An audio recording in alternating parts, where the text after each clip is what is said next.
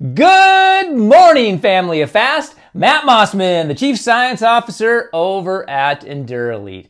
Have you ever wondered if doing cycling openers the day before a race can lead to improved race times compared to, say, just like taking the day off?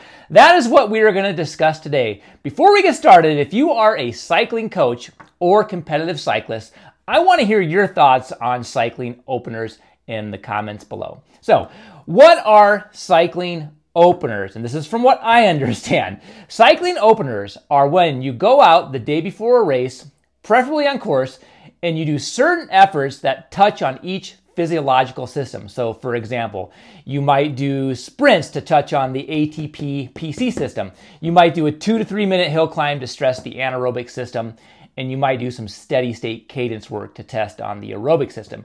And again, this is, from what I understand, it's meant to prime all these different physiological systems without being fatiguing while also providing a psychological boost of sorts.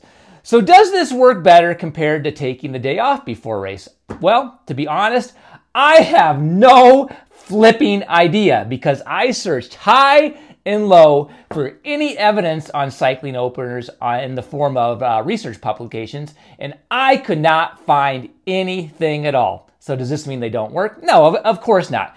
Here's my take on the matter. It really comes down to an individual preference. If you like cycling openers and they feel like they work for you, do them. If you like to take the day off before a race and you feel like that works best for you, do that. Or try a little bit of both and see what works best for you. Until we have the evidence from research to suggest which way works better, it's all a matter of individual preference. So that is all I have on cycling openers for today. I apologize for the non definitive answer.